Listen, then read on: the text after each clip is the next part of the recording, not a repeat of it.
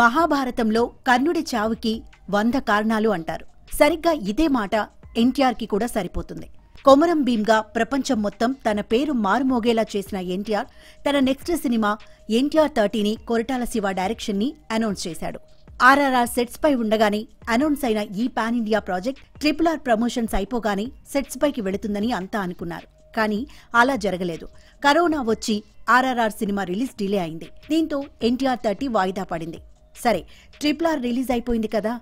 కొరటాల తెరకెక్కిస్తున్న ఆచార్య కూడా రిలీజ్ అయిపోతే ఇక NTR thirty cinema shooting start అయిపోతుందిలే అని నందమూరి ఫ్యాన్స్ డిసైడ్ అయిపోయారు. Time has another plan Acharya cinema Tollywood హిస్టరీలోనే biggest disaster అయింది. ఈ result effect NTR thirty cinema పైనే అనుమానాలు తెచ్చే రేంజ్లో ఇంపాక్ట్ చూపించింది. సరేలే హిట్స్ ఫ్లాప్స్ ఇండస్ట్రీలో మామూలే కదా అనుకునే టైంకి డిస్ట్రిబ్యూటర్లు కొరటాల పీక పట్టుకున్నారు. చేసేదేమి లేక కొరటాల అందరికీ సెటిల్మెంట్ చేశాడు. ఈ గోలలో స్క్రిప్ట్ వర్క్ ఏం చేస్తానో అనుకున్నాడో ఏమో కానీ ఎన్టీఆర్ థర్టీ డిలే అవుతూనే ఉంది. ఇక అన్ని సమస్యలు తీరిపోయాయి.